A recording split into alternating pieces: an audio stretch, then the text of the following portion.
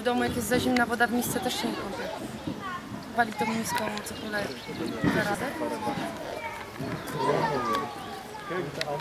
radę.